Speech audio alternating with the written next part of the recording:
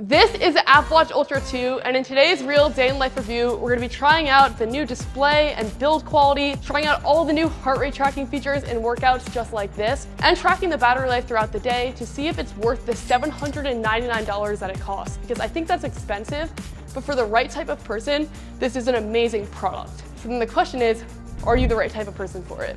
So excited about this video, and the day starts now. So I'm a daily user of the regular series lineup, so I'm switching from the series lineup to the Ultra, which means right away I'm gonna notice a few key things. First one is that the display is brighter.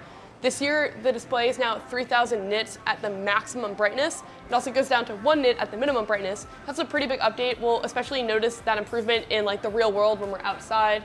Another difference is that it's a 49 millimeter face, so on my wrist, it looks pretty big in comparison to the series lineup. We're gonna get a coffee using Apple Pay and then go to Central Park to test out the new cycling features.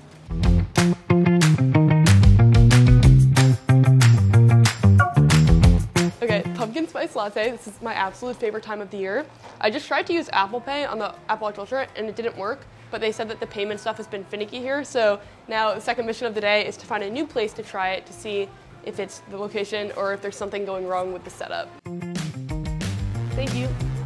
Okay, it's 12.20 p.m. and the Apple Watch Ultra is at 71%. I'm coming from a Series 7 Apple Watch, and I think this is an important note to make because most people don't upgrade their watch every single year, but even the way that the software interacts is different this year. Like the buttons open up different things. So the side button opens up the control center, whereas on the Apple Watch series lineup, you swipe up to open up the control center. Swiping up brings you to like the quick access like all the applications that you've had open. Which brings us to this new feature that they launched this year, which is this double tap to operate the watch.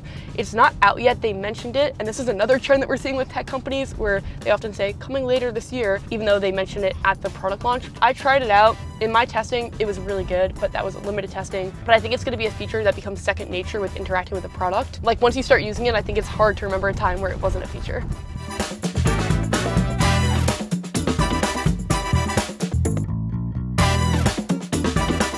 Last time I got a bike in one of these videos, I was teaching myself how to ride. This is now the second time I've been on a bike in a decade, so we will see how it goes. 1.16 p.m., there's like a massive parade going on in the city, so it took a while to get to Central Park, but just rented the Citi Bike. The watch is at 67%, and I'm gonna start a cycling workout. So one of the biggest features of the Apple Watch Ultra is obviously fitness tracking. I think that Apple's in a unique position where they help you track a multitude of different workouts while also being like a smartphone equivalent in a lot of ways. So I'm gonna scroll down here to outdoor cycle. Viewing metrics on the iPhone during cycling workouts, tap the workout timer on your iPhone's lock screen to see all of your metrics. You can use the action button to mark a segment. It will now track your zone, your elevation, your distance, and your cycling power.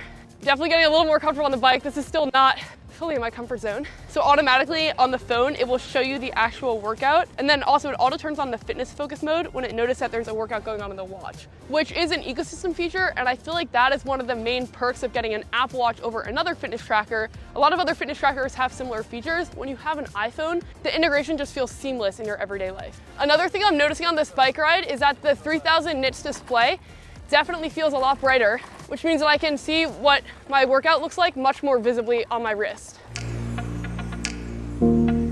Workout complete, that was about a mile.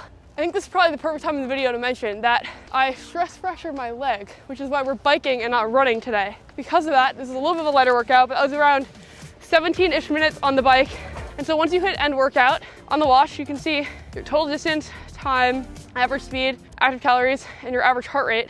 There's a new feature now because of the new S9 where you can precision track your phone. So if I click here, it will actually say searching for a signal and then show me exactly where it is. So we're 11 feet away, I start walking. Okay, so it says five feet and it's tapping my wrist with the Taptic engine. And then as I get closer here, three feet, two feet, 1.4 feet, and there we go. Located it right here.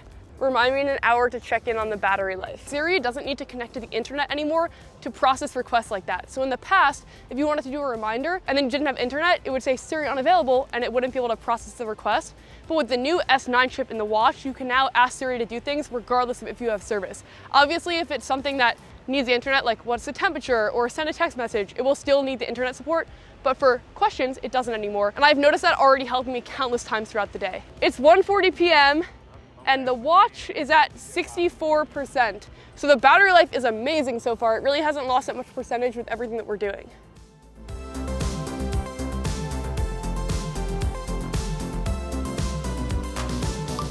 So I figured out why the Apple Pay wasn't working before. In order to use Apple Pay on the Apple Watch Ultra or any Apple Watch, you need to set up a passcode, which makes sense from a security perspective. So once it was set up, it's then just a double click to pay. And it also has an express pay feature where if you just hold it close to a reader and you have this setting on, it will pay without you having to double click to activate it. So we're outside now, and by holding down the power button here, I can turn on compass backtracking. And what this will do is it will track the actual route that we walk. So as we're walking on this route, the Apple Watch Ultra is using the new precision GPS tracking and the GPS in general to mark where we're going. So when we end the uh, backtracking, we go right here, we can either delete our steps or retrace the steps. So if we hit retrace, it will calculate exactly where we were. So this can help you if you think you're gonna get lost on a hike or if you're gonna park somewhere and then you want to go back and be able to find your car. As we're walking here, it will help me figure out where I was coming from. 3.53 p.m. The watch is at 51% battery life. We're at 850.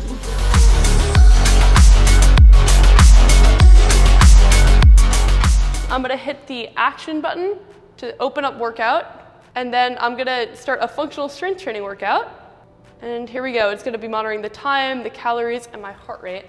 We're the only people at the gym right now. It is completely dead. I don't know what other people are doing, but they're definitely not working out today. That's actually good because it's gonna make the audio quality better for this video.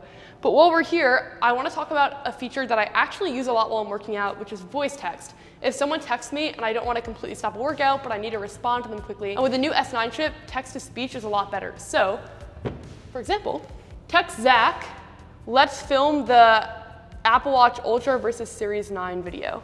Perfectly transcribed, and the message sent. It's 4.54 p.m., the watch is at 45%. My next check-in with you guys will be right before bed to do some sleep tracking with the watch, and then three takeaways I think are the most important things to know about it if you're considering buying it or you're just interested in it.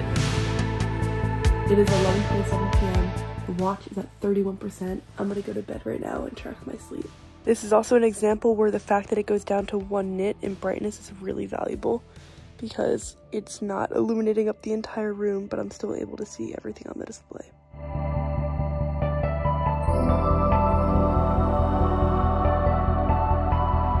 Very stoked that the battery life lasts until 4.18 p.m. The battery life on the Ultra 1 was excellent, on the Ultra 2 it's excellent as well.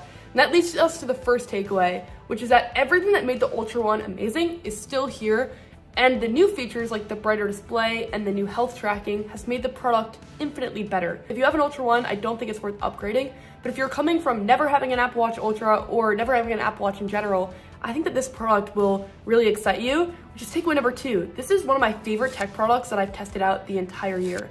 Everything it says it's going to do, it just does really, really well. And I kind of started out this day in the life not thinking that I would be the target demo for it because it's so big on my wrist and I love the series lineup, but it has really changed my mind. The bigger display, the increase in battery life, and the health tracking features for all the workouts that I do has made this my daily driver Apple Watch now, which I'm really excited about. Obviously it's expensive and so I think the next video should be comparing it to the Series 9 to see how that product fares, but I'm very excited about it. And the third takeaway that is worth knowing is that it's kind of the perfect balance between health features and ecosystem features because obviously there are products like the Garmin which are very fitness focused and they would do a better job in intensely tracking a lot of different activities accurately. But I think what the Apple Watch Ultra provides that that doesn't is a seamless integration with your iPhone, like for example, with the cycling or battery life, and it makes it a really appealing product that I'm very excited about. If you wanna see the iPhone that I was using it with, you can check out that day in life review right here or hang out with me in this next video. I'll see you in one of those and thank you for watching this one.